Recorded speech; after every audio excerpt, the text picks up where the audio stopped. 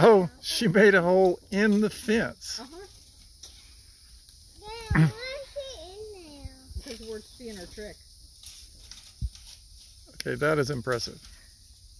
I guess it gets the bug.